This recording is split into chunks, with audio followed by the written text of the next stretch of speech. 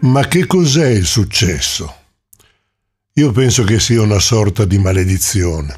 Sbavi per averlo e quando ce l'hai lo devi mantenere, altrimenti oppure non lo raggiungi mai e continui a sbavare mentre la speranza diventa il deserto dei tartari. Cos'è? Un'autoaffermazione sugli altri, una consacrazione in un mondo parallelo? Io ci sono andato vicino qualche volta, ma ne ho avuto paura. Significava perdere troppe cose che per me erano importanti e non ho avuto il coraggio di andare oltre. Col senno di poi, avendo conosciuto meglio il Renatino dentro di me, ho capito che non potevo fare altrimenti. E mi sorrido.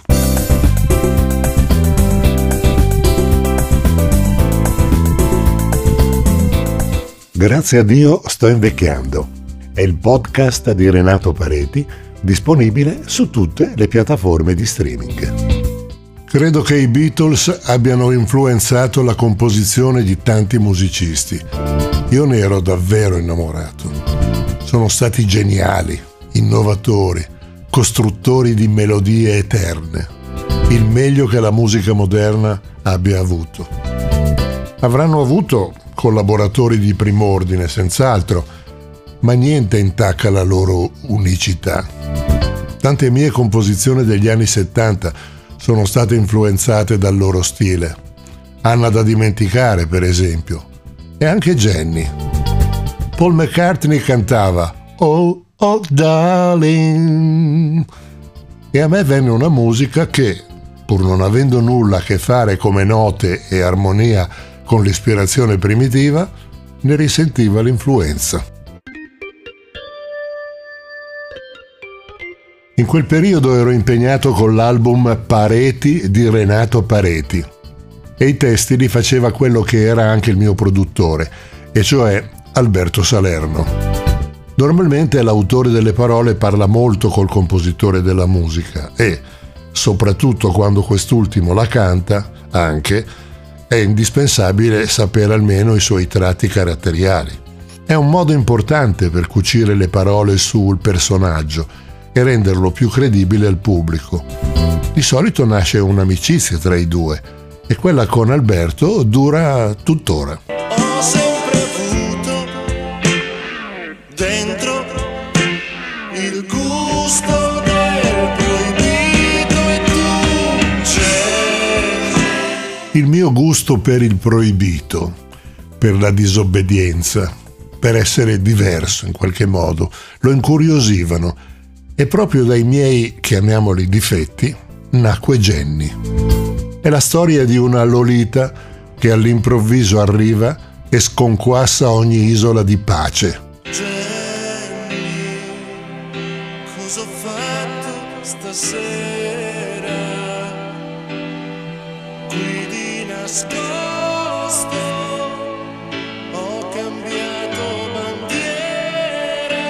Terminato l'album, occorreva scegliere la canzone di punta per la promozione. E subito Alberto indicò Jenny, ma io non ero d'accordo.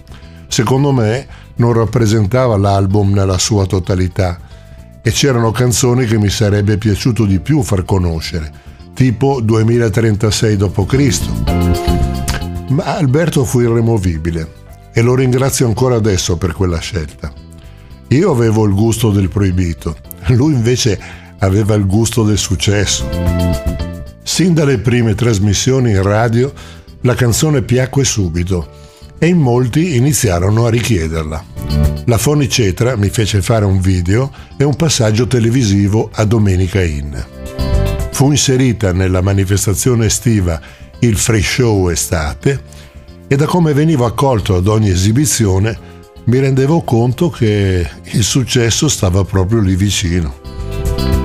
Ma il massimo della faccenda successe al Festival di Pesaro, dove improvvisamente iniziarono le richieste di autografi e le urla delle ragazzine quando cantavo. Stavano succedendo davvero delle cose strane. All'uscita del palazzetto dove avveniva la manifestazione, mi ritrovai di fronte uno schianto di marchigiana che estrasse da una maglietta fina e quasi inesistente una super tetta, rigogliosa e con una penna mi disse Firma qui. Il seno era molto pesante e dovetti sorreggerlo con la mano sinistra per scrivere bene. Cari amici, ero davvero imbarazzato. Firmai su quel tenero velluto e sorrisi, passando ad altri autografi meno esigenti.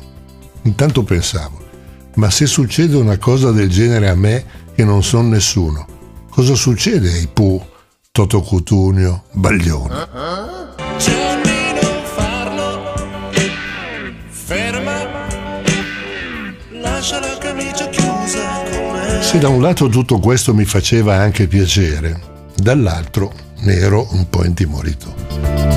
Quando alla fine dell'estate risultai vincitore del free show, in base ai voti delle varie radio libere di tutta Italia, rimasi addirittura sbalordito.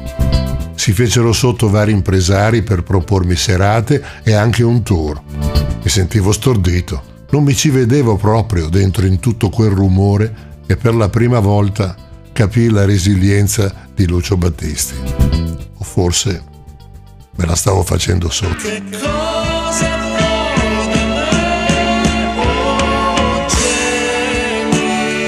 Pensai a tutto ciò che costituiva il mio presente e che avrei dovuto senz'altro trascurare.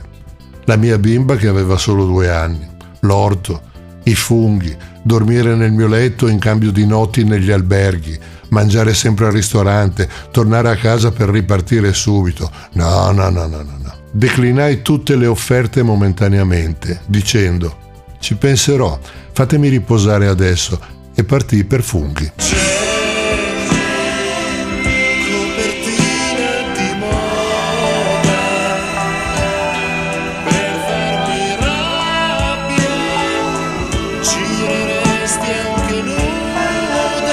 Nel silenzio del bosco, mentre i porcini venivano alla luce davanti ai miei occhi, capii davvero che non ero quello che volevano gli altri e che non avrei potuto nemmeno spiegare loro bene i motivi, perché non mi avrebbero mai capito.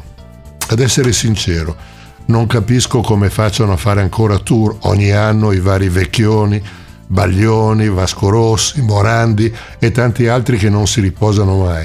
Ma avete i miliardi, andate in vacanze e riposatevi un po'. Il successo è proprio una malattia. Ognuno ha la sua vita e questa è la mia. Ora che sono un vecchietto mi dico, hai fatto proprio bene, anche se... grave far piccoli pensieri su te.